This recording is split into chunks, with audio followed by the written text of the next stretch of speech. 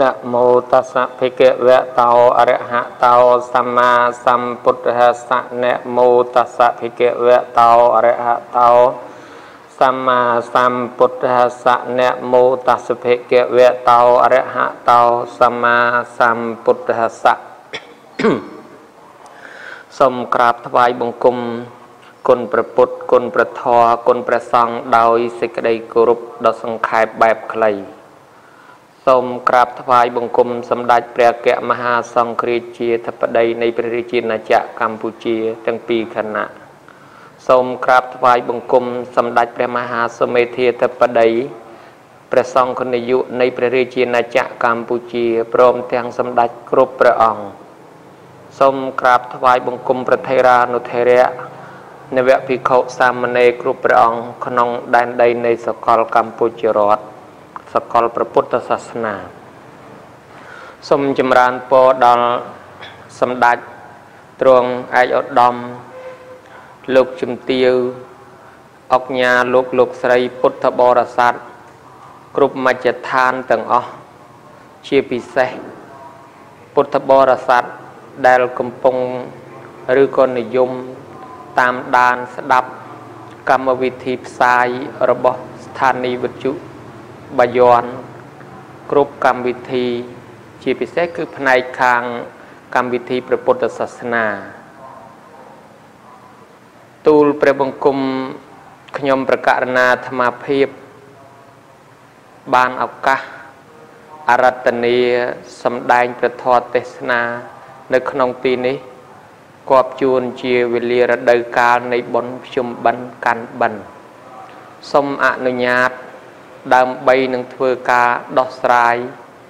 រំគាយសេចក្តីប្រវត្តិបុណ្យកាន់បិណ្ឌបុណ្យភ្ជុំបិណ្ឌដូចតទៅនេះ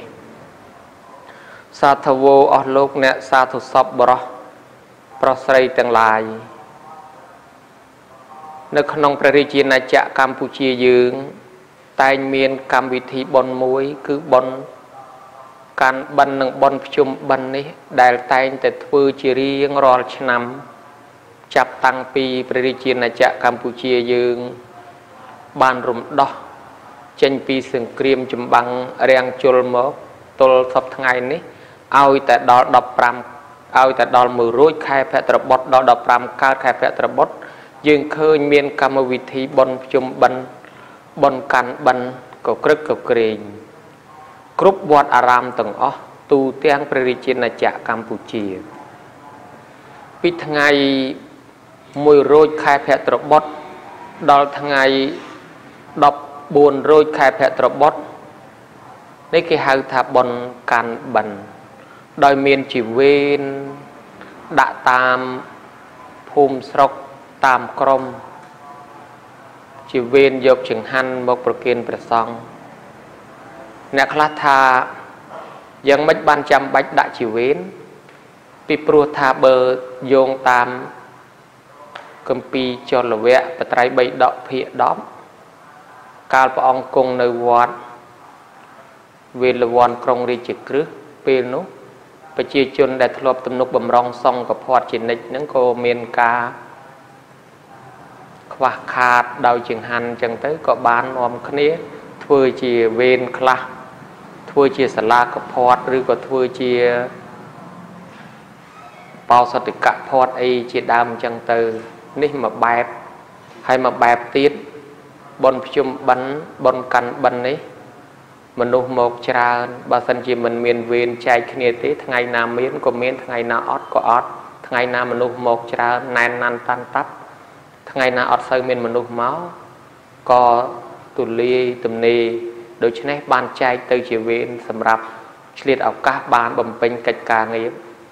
របរអាជីវកម្មរៀងខ្លួនផងដែរថ្ងៃ15រោចខែភទ្របទគឺជាការជួបជុំធំ គឺហៅថាបុណ្យភ្ជុំដូច្នេះសរុបទៅពាក្យថាបុណ្យកាន់បិណ្ឌនិងភ្ជុំបិណ្ឌមានន័យថាបណ្ឌៈនឹងដុំបាយហើយគឺជាកម្មវិធីដែលយកនៅដុំបាយគឺចង្ហាន់បណ្ឌបាតទៅតាមក្រមតាមវេន មកដើម្បីប្រគេនប្រសង់ឧទ្ទិសកុសលដល់មេត្តាបិតាឬញាតិកាដែលស្លាប់បាត់បង់ជីវិតទៅនេះយើងឃើញទស្សនភាពជារៀងរាល់ឆ្នាំដែលបានប្ររពធ្វើនៅព្រះរាជាណាចក្រកម្ពុជាយើងគិតមើលអំពីកម្មវិធីបុណ្យនេះថាតើជាបុណ្យជាតិឬក៏ជាបុណ្យសាសនា បុណ្យភ្ជុំបិណ្ឌបុណ្យកាន់បិណ្ឌនេះ គឺជាបុណ្យប្រពៃណីជាតិផង ជាបុណ្យព្រះពុទ្ធសាសនាផង ដែលហៅថាជាបុណ្យប្រពៃណីជាតិនោះពីព្រោះថាបណ្ដាប្រទេសអ្នកកាន់ព្រះពុទ្ធសាសនាទាំងអស់គឺមានតែព្រះរាជាណាចក្រកម្ពុជាយើងទេដែលបានធ្វើបុណ្យកាន់បិណ្ឌបុណ្យភ្ជុំបិណ្ឌនោះរីឯប្រទេសគេដទៃទៀតគេមិនបាន ធ្វើផង គេបានកាន់ពុទ្ធសាសនាដែរប៉ុន្តែគេអត់ធ្វើផងដូច្នេះលក្ខណៈនេះហើយដែលហៅថា មានតែប្រទេសខ្មែរដែលធ្វើបានជាជាលក្ខណៈបុណ្យប្រពៃណីជាតិពីព្រោះខ្មែរយើងមានជំនឿជឿគោរពរាប់អានលទ្ធិពលឹងរាប់អានបុព្វការីជនមានមេត្តាបៃតាដូនតាដែលស្លាប់ទៅនោះជាយូរយារណាស់ហើយជាពិសេស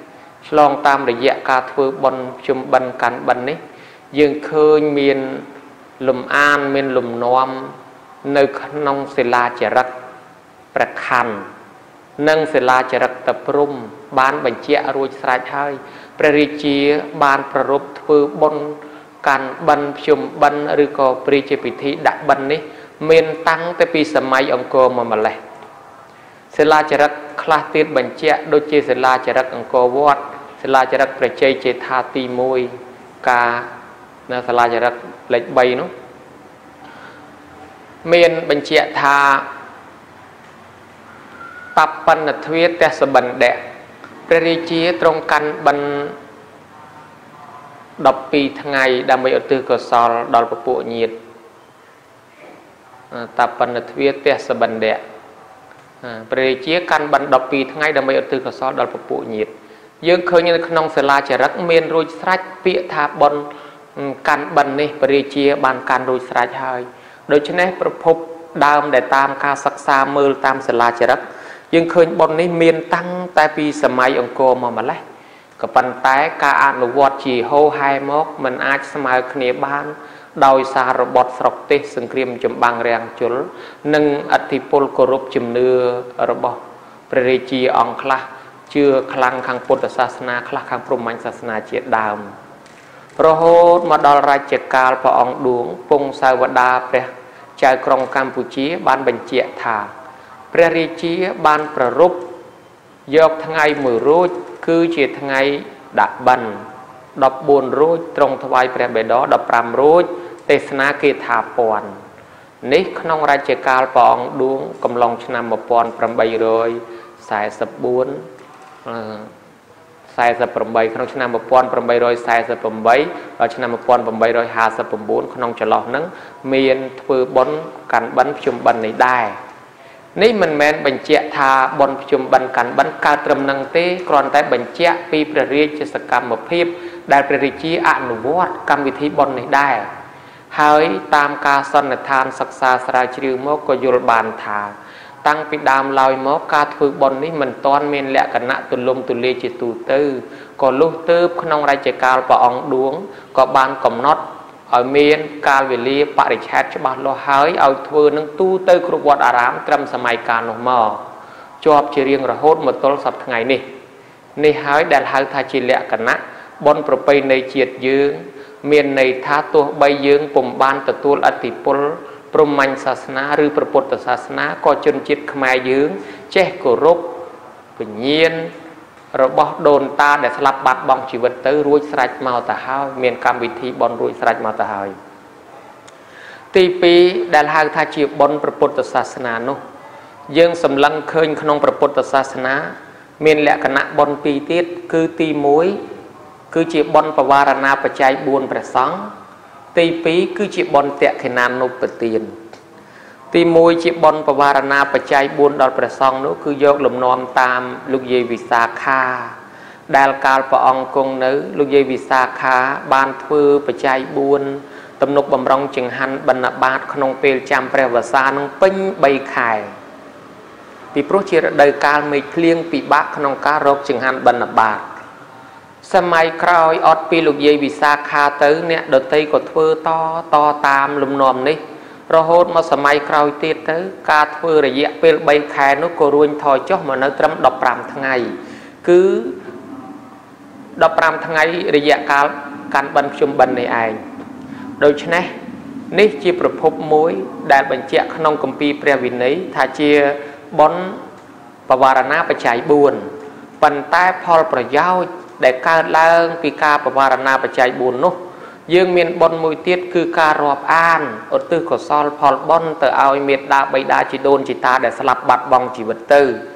ម្ល៉េះហើយក៏យកកម្មវិធីបវារណាបច្ច័យ4នឹងឧទ្ទិសកុសលនេះជូនទៅតែម្ដងជាបុណ្យតក្ខិណានុបទានផងដូច្នេះបុណ្យពីរនេះរួមបញ្ចូលគ្នាទៅជាបុណ្យភ្ជុំបិណ្ឌឬក៏បុណ្យកាន់បិណ្ឌនេះបុណ្យតាមលក្ខណៈ គម្ពីរព្រះពុទ្ធសាសនាដែលមាន ក្នុងព្រះរាជាណាចក្រកម្ពុជាយ៉ាងហោចណាស់មាន3ឬ4ប្រភពឯកសារដែលបញ្ជាក់មានបញ្ជាក់តាមគម្ពីរធម្មបទមានខ្លះទៀតថាធ្វើទៅតាមគម្ពីរបេតវត្ថុឬវិមានវត្ថុខ្លះទៀតថាធ្វើទៅតាមគម្ពីរសត្រាវិជាធោ ខ្លះទៀតថាធ្វើទៅតាមគម្ពីរសត្រាអានិសង្ឃបិណ្ឌយ៉ាងហោចណាស់ក៏មាន4ប្រភពនេះដែលពោលតាក់តងដល់ទំនៀមទម្លាប់នៃការធ្វើបន់ភ្ជុំបិណ្ឌបន់កាន់បិណ្ឌនៅក្នុងព្រះរាជាណាចក្រកម្ពុជាទូលព្រះបង្គំខ្ញុំប្រកាសណាអាត្មាភាពសូមព្រះជាអនុញ្ញាតអនុញ្ញាតលើកឡើងត្រួសត្រាសអំពីលក្ខណៈជំនឿទៅតាមគម្ពីរទាំងនោះ ដែលមានជានិទានតាមបែបការសិក្សាស្រាវជ្រាវមក ទី1នៅក្នុងគម្ពីរធម្មបទបាននិទានពីព្រះរាជាសម័យបុរាណបានរៀបចំឲ្យគេធ្វើបុណ្យហើយក៏ចាត់ចែងអ្នកដែលមកជួយធ្វើបុណ្យនោះ អ្នកដែលមកជួយធ្វើបុណ្យនោះក៏មានការមិនស្អាតប្រមាថក្នុងទាន មានការហូបលុកលើលុកក្រោមនៃមុនពេលព្រះសង្ឃដែលមានកូនចៅយំអញ្ចឹងទៅលួងមិនស្ងៀមទៅក៏យករបស់ បង្អែមនំសម្រាប់ប្រសងហ្នឹងឲ្យកូនបរិភោគដល់តែឆ្ងាញ់កូនក៏បាត់យំទៅហើយខ្លួនឯងឃើញអញ្ចឹងក៏បរិភោគដែរទៅអឺហើយដោយសេចក្តីប្រមាថខ្វះការគោរពបានមានកំណើតកើតនៅក្នុងពេទ្យវិស័យដែលយើងហៅថាប្រែតអត់ចំណីអាហារជាច្រើនចំនួនពពុតមកហើយក៏លុះដល់ព្រះសមណៈគោដំបរមគ្រូរបស់យើងនេះត្រាស់ដឹងឡើងក្នុងលោក ពួកប្រែតទាំងនោះបានឡើងមកទូលសួរថាបបិទ្ធព្រះអង្គដ៏ចម្រើន យើងខ្ញុំព្រះអង្គបានអាហារបរិភោគនៅពេលណា បានព្រះសម្ពុទ្ធថាបាន ក្នុងសាសនាតថាគតនេះហើយក៏ប៉ុន្តែតលតែញាតធ្វើឧទ្ទិសមកសិនហើយញាតនៅឯណាញាតគឺប្របាទពំពិសាម្លោះហើយប្រែតទាំងនោះក៏ទៅយំយែកស្រែកទួញជុំវិញព្រះបរមរាជវាំង ប្របាទពំពិសាលឺស្នូសំឡេងសម្រែកចម្លែកដូច្នោះព្រឹកព្រៀងស្វាងព្រះសូរិយាក៏ចូលកលព្រះសាស្តាសួរបាសនាដែលកើតឡើងនោះព្រះពុទ្ធក៏សម្ដែងប្រាប់ថាជាញាតរបស់ព្រះអង្គដែលគ្នាអត់ចំណីអាហារមករកចំណីអាហារបរិភោគសូមឲ្យព្រះអង្គនឹងជួយផងទៅ បានពំពិសានឹងចាត់ចែងធ្វើបុណ្យសូមជម្រាបផងដែរថាព្រះបាទពំពិសាជាព្រះរាជា មិនបានធ្វើខ្លួនឯងចាត់ចែងប្រើគេឲ្យធ្វើទៅមិនបានឧទ្ទិសមិនបានចូលប្រគិនផ្ទាល់កំណើតប្រែតទាំងនោះ ដែលជាប្រភេទបរៈតតោបជីវិតៈប្រែតគឺមិនអាចទទួលផលដោយការដើររឹសឬក៏យកខ្លួនឯងបានទេតលតែគេឧទ្ទិសបានទទួលយកបានម្ល៉េះហើយទទួលអត់បានយំយែកស្រែកទួញអញ្ចឹងទៅ បានជាក្រោយពីដឹងរឿងនេះហើយទៅសួរពពុទ្ធព្រះអង្គសម្ដែងថាមហារាជបានធ្វើប៉ុន្តែមហារាជមិនបានឧទ្ទិសទៅគ្នាមិនអាចទទួលបានដូច្នេះបានប្របាទពំពិសានឹងក៏ចាត់ចែងឲ្យគេធ្វើទៀនម្ដងទៀតដោយខ្លួនព្រះអង្គបានចូលប្រគេនផ្ទាល់បានឧទ្ទិសផ្ទាល់ហើយព្រះសម្ពុទ្ធព្រះអង្គក៏អនុមោទនាព្រះធម៌តិរោកុដសោតពេលនោះពួកប្រែតទាំងនោះក៏បានរួចចាក់ទុកសោយសម្បត្តិទឹកក្នុងសុគតិសួរទៅបានសម្រេចជាចំណីអាហាររៀងខ្លួនទៅ លើកឡើងប៉ុណ្ណេះហើយជាប្រភពមួយក្នុងគម្ពីរធម្មបទដែលមានជាប់តាក់ទងដោយធម៌តិរោកុដសោតមាននៅក្នុងគម្ពីរបត្រៃ3ដកភិអា56ដែរហើយព្រះសង្ឃតែងយកធម៌តិរោកនេះមកសូត្រក្នុងពេលបន់កាន់បិណ្ឌបនភ្ជុំបិណ្ឌនេះ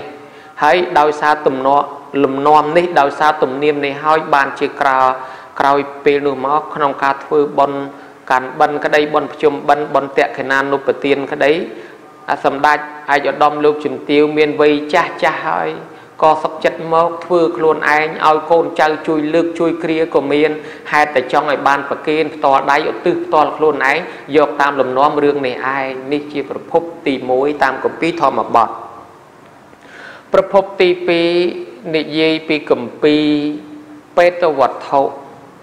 គម្ពីរបេតវត្ថុនេះបើយើងគិតទៅក្នុងបត្រៃ3ដកក៏មានបេតវត្ថុដែរគឺគម្ពីរបេតវត្ថុភាគ56ហ្នឹងឯងហើយនឹងវិមានវត្ថុអីចឹងដែរប៉ុន្តែបេតវត្ថុដែលលើកឡើងនេះគឺជាស្នាដៃរបស់អដ្ឋកថាចារដែលលោករចនាឡើង គឺព្រះធម្មបាលហើយធម្មបទមិញនេះគឺព្រះពុទ្ធឃោសាចារ ឥឡូវបើតាមគម្ពីរបេតវត្ថុមានរឿងនិទានជាច្រើនដែរប៉ុន្តែនឹងលើកយកមួយដែលជាប់តាក់ទងដោយបុណ្យភ្ជុំបិណ្ឌគេហៅថាប្រែតសៀតផ្កាតបែកព្រៃនិយាយពីបរោះម្នាក់បាញ់សត្វមួយជីវិតមិនដែលធ្វើបុណ្យទានសោះហើយបានសัตว์នោះមកក៏ចេះយកមកចែកឲ្យក្មេងៗថ្ងៃមួយបាញ់អត់បានក៏កាច់ផ្កាតបែកព្រៃនោះយកមកចែកឲ្យក្មេងៗ នៅពេលបរោះនោះអស់អាយុទៅមិនបានចាប់កំណើតជាមនុស្សជាទេវតាក៏ទៅកើតជាកំណើតមកបែបត្រាច់រង្គត់ទៅលើដីលើលើទឹក ហើយក៏ចេះតែដើររកចំណីអាហារប៉ុន្តែសៀតផ្កាតបែកព្រៃនៅនឹងក្បាលដើរទៅតាមទឹកឲ្យតែមានគេជិះទូកជិះសំពៅមកទៅស្រែកសុំចំណីអាហារពេលមួយកោលយៈអាមាតបានធ្វើដំណើរកាត់តាមនោះប្រែតនោះក៏មកស្រែកសុំចំណីអាហារបង្ហាញខ្លួនឲ្យគេឃើញភ្នែកស្រស់ អ្នកដើរទូកដើរសំពៅនោះក៏បានហុចសដៅហុចបាយហុចរបស់ហូបចុកទៅ គ្នាមិនអាចទទួលបានហុចឲ្យសម្លៀកបំពាក់ក៏មិនអាចទទួលបាន ប្រែតនោះបានប្រាប់ថាអ្នកអើយបើសិនជាអ្នកអាណិតដល់ពួកខ្ញុំ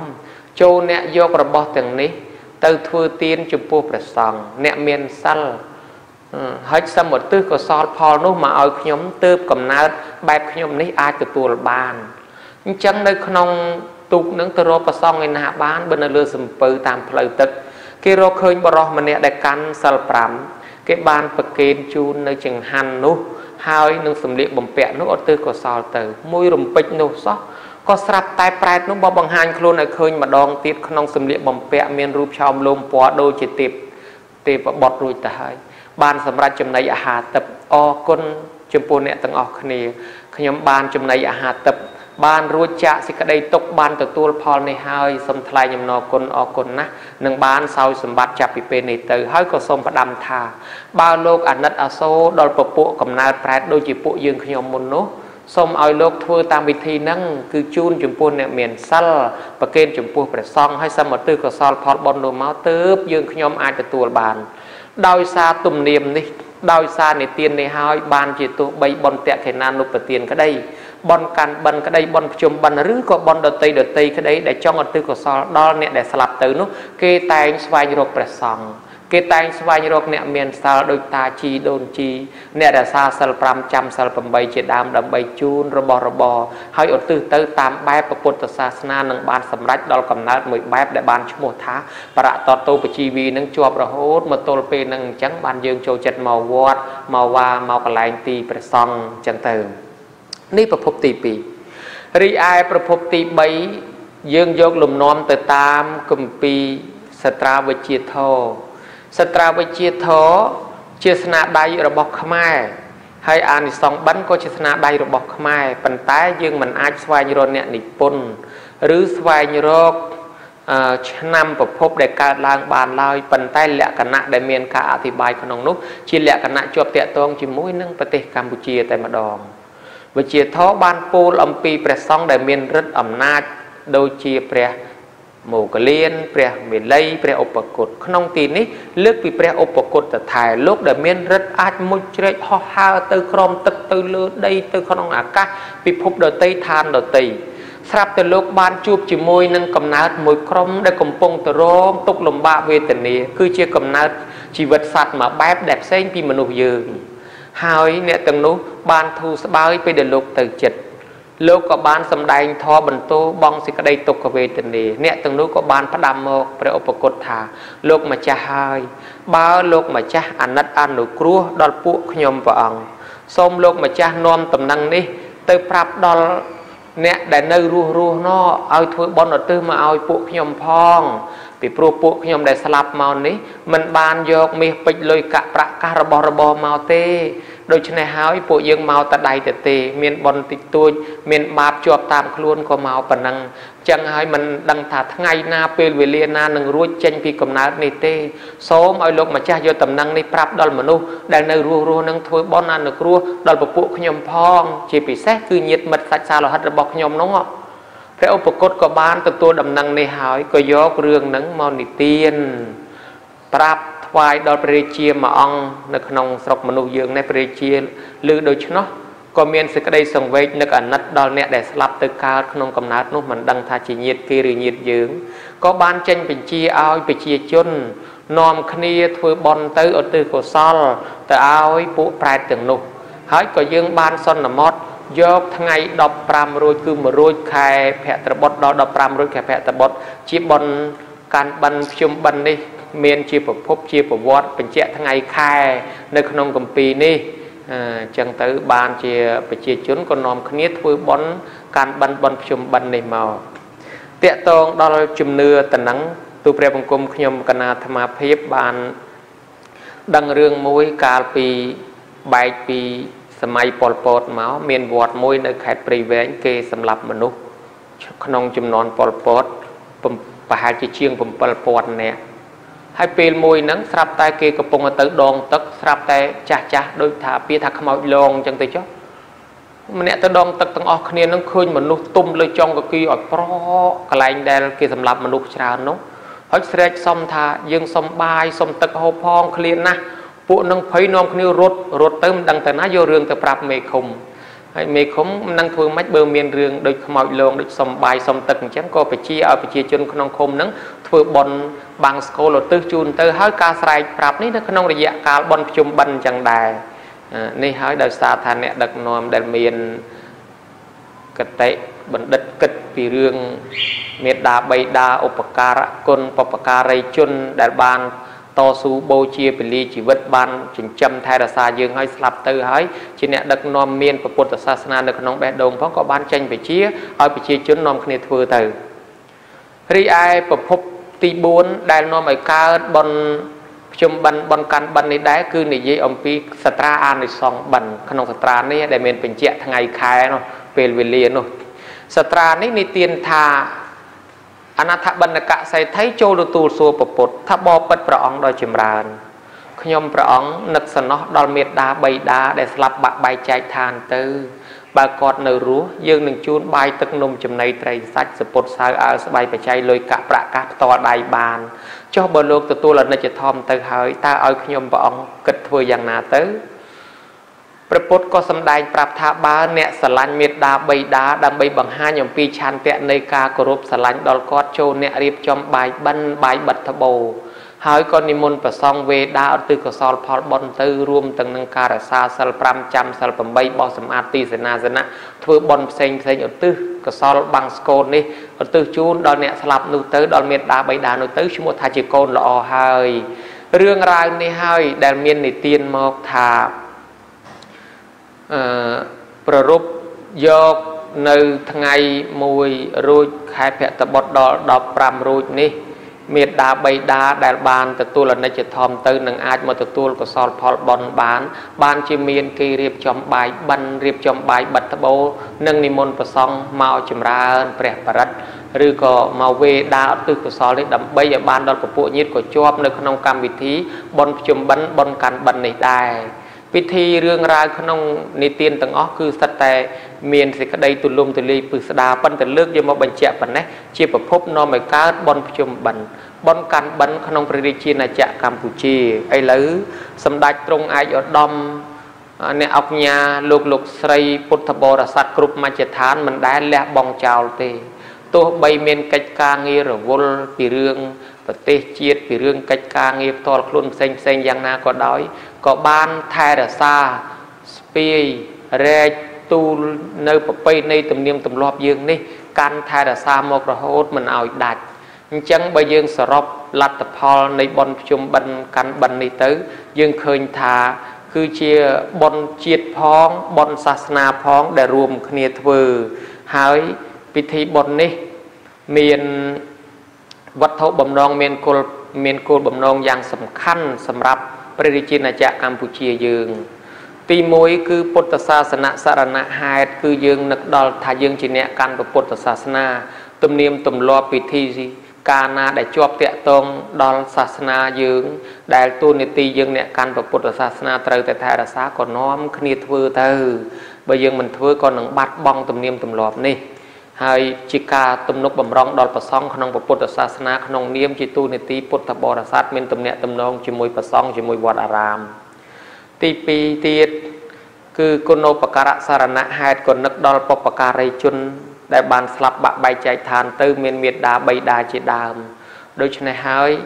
បានជាបើគាត់នៅរស់យើងជូនផ្ទាល់ឥឡូវបើគាត់ស្លាប់ទៅមានតែការធ្វើបុណ្យនេះទេដើម្បីឧទ្ទិសកុសលទៅដោយបុរាណថាហែមុនវសន្តរដូវ គឺរដូវចូលឆ្នាំនិងរដូវភ្ជុំបិណ្ឌនេះតែម្ដងបើរដូវភ្លៀងរដូវក្តៅនិងរដូវភ្លៀងនេះ ដែលកូនចៅតែងប្ររពពិធីបុណ្យនេះជាហោហែមកមិនដែលដាច់ទី3ហៅថា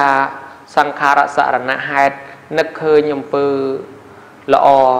អាយុសង្ខាររបស់យើងមិនទៀងទាត់មិនថិតថេរអ្នកណាក៏មិនអាចកិច្ចផុតពីសេចក្តីស្លាប់ដែរ ទោះបីកន្លងមកយើងធ្លាប់ធ្វើអំពើបែបណាក៏ដោយប៉ុន្តែចុងក្រោយក៏យើងនឹងត្រូវស្លាប់ដូចគ្នា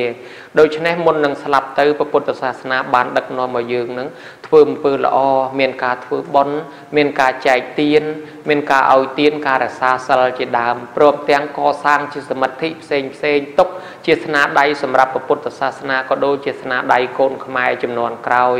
កូនចៅចំនួនក្រោយបានទទួលយកកេរមរតកពីយើងពីព្រោះថាបើយើងមិនធ្វើអីសោះក៏យើងកិច្ចមិនផុតពីសេចក្តីស្លាប់ដែរអ្នកខ្លះស្លាប់ទៅហើយនៅសល់គេឈ្មោះកតយុះទុកសម្រាប់ឲ្យកូនខ្មែរបន្តពូជពងវងអ្នកកាន់ពុទ្ធសាសនាឬក៏បន្តថែរក្សានៅស្នាដៃនេះជាបន្តទៅមុខទៀត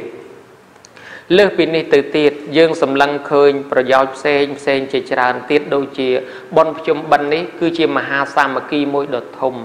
ដែលខាងមន្ត្រីរាជការស្ថាប័នផ្សេងផ្សេងក៏ត្រូវបានឈប់សម្រាកអ្នករៀនអ្នកសូត្ររោងចក្រសហគ្រាសក៏នឹងត្រូវបានឈប់សម្រាកទៅជួបជុំក្រុមគ្រួសារបងប្អូនញាតិមិត្តមេដាបៃតា ដូច្នេះការជួបជុំនេះមិនមែនជួបជុំតូចទេគឺទី1ជួបជុំក្រុមគ្រួសារទី2ជួបជុំបងប្អូនទី3ជួបជុំអ្នកភូមិអ្នកស្រុកទី4ជួបជុំដល់ឃុំទាំងមូលជាពិសេសក្នុងចំណោះជើងវត្តមួយមួយមានការជួបជុំគ្នាយ៉ាងច្រើនហើយប្រជាជនខ្លះទៅដល់រហូតដល់7វត្តទៅទៀតដែលមាននិទានក្នុងសត្រាថាមករក7វត្តអីគេញោមញាត បងប្អូនស្លាប់ទៅ107វត្តអីដូច្នេះការជួបជុំញ៉ាំងនៅសាមគ្គីធ្វើឲ្យមនុស្សមានសុខដុមរមណីយកម្មសាសនាជំនឿទំនៀមទម្លាប់របស់យើងក៏ឯកភាពគ្នាសាមគ្គីជាធ្លុងមួយស្គាល់គ្នាក្នុងភូមិក្នុងស្រុកពីដើមភូមិដល់ចុងភូមិដោយសារតែបានសាមគ្គីគ្នាមកធ្វើបន់ជួយគ្នាទៅវិញទៅមកនេះហើយមួយទៀតយើងបានសង្គ្រោះគ្នាទៅវិញទៅមកជាវប្បធម៌ចែករំលែកសង្គ្រោះគ្នានេះ យើងប្រព្រឹត្តទៅនៅក្នុងធម៌សង្កហធម៌4យ៉ាងទៀនអ្នក គឺវប្បធម៌ចែករំលែកទៀនរំលែកទៀនគឺថាចែកទៅដល់ប្រសងផង បានដល់ពុទ្ធបរិស័ទផងពីអ្នកមានហេហោមកដល់អ្នកក្រដូចជាបានប្រគេនប្រសងប្រសងឆានហើយសល់បានទៅសិស្សនិស្សិតបានទៅពុទ្ធបរិស័ទបានទៅអ្នកសុំទៀនបានទៅអ្នកក្រកំសត់ទុរគតរហូតដល់បានទៅចែកនៅតាមមន្ទីរពេទ្យនៅតាមទីកន្លែងផ្សេងផ្សេងដូចជាវត្តបទុមបដីនេះធ្លាប់ធ្វើជារៀងរាល់ឆ្នាំនេះជាវប្បធម៌ចែករំលែកពីអ្នកមានទៅកាន់អ្នកក្របើមិនជាមិនមានកម្មវិធីបន់នេះទេ ការដែលបរិច្ចាគលុយកាក់នោះក៏វាមិនងាយចេះតែចេញដែរប៉ុន្តែលុយកាក់របស់អ្នកមាននឹងអាចសង្គ្រោះចែករំលែកមកដល់អ្នកក្របានដោយធូរតាមរយៈការធ្វើបន់នេះហើយបយៈវច្ចៈបានជួបគ្នាពោលពាក្យជាទីស្រឡាញ់ធ្វើឲ្យមនុស្សកាន់តែគេស្គាល់កាន់តែមានប្រជាប្រិយភាពហើយបានពោលពាក្យរុះរាយរាក់ទាក់គ្នារួមនឹងសូត្រធម៌អាបរាភវៈសូត្រជាដើមនេះការពោលពាក្យជាទីស្រឡាញ់ រាប់អានគ្នាបានជួបជុំឱកាសជុំដ៏ធំធេងដែលមកទាំងសិស្សមកទាំងកម្មករមកជួបជុំគ្នានៅវត្តដូច្នេះយើងបានជួបជុំគ្នាពោលពាក្យជាទីស្រឡាញ់ហើយទៅបយៈវច្ចៈអត្តចរិយាប្រព្រឹត្តជាប្រយោជន៍ដល់គ្នានឹងគ្នាមានន័យថាលះបង់កិច្ចការងារផ្ទាល់ខ្លួនមកចូលជួយកិច្ចការងារផ្នែកសាសនាសហការជាមួយនឹងប្រជាជនដែលគ្នាកំពុងតែមានជំនឿជឿសាសនាម្ល៉េះហើយយើងជាអ្នកជឿសាសនាដូចគ្នាក៏មានការស្រឡាញ់រាប់អានគ្នាប្រព្រឹត្តជាប្រយោជន៍អញ្ចេះខ្លះចុះខ្លះចឹងទៅ មួយទៀតហៅថាអត្តចរិយាបានទម្លាក់នៅមានះរបស់ខ្លួន ដោយមិនប្រកាន់ថាអញឋានៈធំអញមានមិនត្រូវរ៉ែបរាប់អានខ្សែគប់ចូលកន្លែងអ្នកក្រីក្រកន្លែងអ្នកថោកទាបអីដូចនេះទេដូច្នេះនេះហើយគឺជាប្រយោជន៍មួយ ដែលមានការសាមគ្គីដ៏សំខាន់អ្នកមានអាចទៅធ្វើបុណ្យជាមួយអ្នកក្របានមិនប្រកាន់វណ្ណៈ អ្នកមានឋានៈខ្ពស់ក៏អាចទៅធ្វើបុណ្យជាមួយអ្នកមានឋានៈទាបឬអ្នកអត់មានឋានៈអីជាប្រជាពលរដ្ឋធម្មតាដូច្នេះធ្វើឲ្យមនុស្សយើងនឹងគោរពគ្នាទៅវិញទៅមកដោយមិនរើសអើងមិនប្រកាន់គ្នា ជាវប្បធម៌មួយដ៏ល្អហើយមួយទៀតសេដ្ឋកិច្ចនៃអ្នកលក់ដូរភោគផលក៏នឹងបានរីកចម្រើនលក់ដាច់ពេលនេះ ដូចជាថវិកាដ៏មានច្រើនរបស់អ្នកមាន នឹងអាចធ្លាក់ទៅដល់អ្នកក្រកំសត់ទុរគតបាន តាមរយៈការធ្វើបន់ភ្ជុំបិណ្ឌនេះតាមរយៈការទិញបន្លែបកាដាំស្លត្រីសាច់នំនេកចេកអំពៅត្រាវដំឡូងទិញធូបទិញទៀនទិញផ្កាទិញភ្ញីអ្នកខ្លះជិះទៅដំណើរទៅ បានទៅអ្នករត់ម៉ូតូដប់រត់យានជំនិះកង់3ទិញសាំងទិញនេះទិញនោះយកទៅក្នុងការធ្វើបុណ្យតាំងពី សម្ភារៈផ្សេងផ្សេងដាំស្លអីបង្អែមអីសពបែបយ៉ាងនេះហើយ ដែលធ្វើឲ្យលុយកាក់ដែលយើងមាននោះអាចកម្រើកឡើងទៅចូលអ្នកក្រីក្រទៅចូលអ្នកលក់ទៅចូលអ្នកដូរធ្វើឲ្យយើងមានការរីចម្រើនផ្នែកខាងសេដ្ឋកិច្ចយើងនឹងវាមានចលនារស់ឡើងអញ្ចឹងទៅដែរ ហើយបើសិនជាមិនមានកម្មវិធីបត់នេះទេវាជាសិទ្ធិសេរីភាពរបស់គេគេមិនបានបញ្ចេញទៅណាក៏បានដែរអញ្ចឹងគេបានលះបង់លុយកាក់ដែលគេមានទៅតាមធនធាននេះវាអត់បាត់បង់ទៅណាទេវាគ្រាន់តែឲ្យសេដ្ឋកិច្ចដើរបានទៅលើអ្នកលក់អ្នកដូរអីចឹងសពបែបយ៉ាង ហើយបានរួបរวมសាមគ្គីគ្នាជាធ្លុងមួយមានការស្រឡាញ់រាប់អានគ្នាលើសពីនឹងទៅទៀតរាល់ពេលការកសាងសមិទ្ធិហេដ្ឋារចនាសម្ព័ន្ធផ្សេងផ្សេងនៅក្នុងប្រទេសយើងនេះ បើធ្វើម្នាក់ឯងទៅវាមានការលំបាកយឺតយូរម្ល៉េះហើយបើរួមគ្នាច្រើនសហការគ្នាអានឹងបានលឿនហើយបើសហការគ្នាពេលណាទៅដើររៃតាមផ្ទះតាមភូមិវាមិនងាយទេប៉ុន្តែបើមានកម្មវិធីប៉ុននេះមនុស្សមកជុំគ្នានាំយកនៅរបស់របរបច្ច័យលុយកាក់នៅយកមកចូលឃើញថាបានជុំគ្នាបានសាមគ្គីគ្នាល្អណាស់អាចកសាងសមិទ្ធិផ្សេងផ្សេងសម្រាប់ជាតិបានដូចជា រួមគ្នាកសាងវត្តវាអារាមក៏ ផ្លូវថ្នល់ស្ពានសាលារៀនមន្ទីរពេទ្យឬក៏របស់ផ្សេងផ្សេងបានតាមរយៈការធ្វើបន់សន្តាននេះជាមហាសាមគ្គីមួយដ៏ធំធេងផងដែរដើម្បីឲ្យបានសម្រាប់ជាប្រយោជន៍សម្រាប់មនុស្សរស់រានមានជីវិតនៅផងហើយយើងអាចឧទ្ទិសកុសលផលបុណ្យនេះឲ្យបានដល់បុព្វការីជនបានទូទៅទាំងអស់គ្នាផងដែរកម្មវិធីសម្ដែងប្រធមទេសនានៅក្នុងពេលនេះ សូមថ្វាយនៅព្រះរាជាកុសលដល់អតីតព្រះមហាក្សត្រព្រះមហាក្សត្រយានីដែលបានតស៊ូបូជាពលីជីវិតដើម្បីបព្វហេតុជាតិកម្ពុជាសូមថ្វាយព្រះរាជាកុសលដល់អតីតសម្ដេចព្រះមហាសង្ឃរាជប្រសង់គ្រប់ព្រះអង្គក្នុងដែនដីនៃសកលកម្ពុជារដ្ឋដែលបានបូជាពលីជីវិតដើម្បីបព្វហេតុជាតិសាសនាសូមឧទ្ទិសកុសលផលបុណ្យនេះជូនដល់សម្ដេចទ្រង់អាយុដមវរៈជនវរៈនារីដែលបានតស៊ូ ពលីជីវិតបូជាដើម្បីការពារបរណភាពទឹកដីជាតិសាសនារស់រានមានជីវិតទល់សពថ្ងៃនេះហើយក៏សូមថ្វាយព្រះជាកុសលនេះដល់សម្ដេចព្រះបរមនាថនរោត្តមសីហមុនីសូមឲ្យព្រះអង្គបានទទួលបុណ្យកុសលនេះបានព្រះសុខភាពល្អសូមជូនបុណ្យកុសលនេះដល់ប្រមុខដឹកនាំនៃនាវាកម្ពុជាមានសម្ដេចដេជោមានសម្ដេចកតិព្រឹទ្ធបណ្ឌិត មានសម្ដេចមហាបញ្ញាចក្រីសម្ដេច ឯកឧត្តមលោកជំទាវគ្រប់ក្រសួងគ្រប់ស្ថាប័នដែលកំពុងតែបំពេញកិច្ចការងារសូមឲ្យបានសុខចម្រុងចម្រើន បានជោគជ័យមានដេជះឈ្នះអស់មានសត្រូវគ្រប់ទិសទីទៅកន្លែងណាមានដេជានុភាពបជាប្រយោភាពឈ្នះអស់មានសត្រូវទាំងឡាយទាំងពួងកុំឲ្យមានជំងឺឈឺអាពាហ៍បៀតបៀនហើយសូមឲ្យជនខ្មែរជនជាតិខ្មែរយើងទាំងអស់គ្នាបានជួបប្រទះតែសេចក្តីសុខចម្រុងចម្រើនតរៀងទៅបុណ្យកុសលដែលបានអឺ ធ្វើនៅក្នុងរយៈកាលបុណ្យភ្ជុំបិណ្ឌបុណ្យកាន់បិណ្ឌនេះក៏សូមឧទ្ទិសដល់ពពួកញាតិកាសាលោហិតរបស់កម្ពុជាយើងទាំងមូលដែលបានបាក់បែកចែកឋានទៅជាញាតិរបស់ឯកឧត្តមលោកជំទាវពុទ្ធបរិស័ទទាំងអស់សូមឲ្យបានរួចចាក់ទុកទោសបានសោយសម្បត្តិទឹកក្នុងសុគតិភព សួរទេវលោកទៅតាមការប្រាថ្នានិងឲ្យពរឲ្យជ័យដល់សម្ដេចទ្រង់អាយុដំញោមញាតពុទ្ធបរិស័ទទាំងអស់រស់រៀនមានជីវិតនៅនេះប្រកបកិច្ចការងារអ្វីកាន់កិច្ចការងារអ្វីឲ្យបានសុខចម្រុងចម្រើនដោយសេចក្តីប្រាថ្នាតរៀងទៅការសម្ដែងសន្មតថាចប់អេវ៉ាំង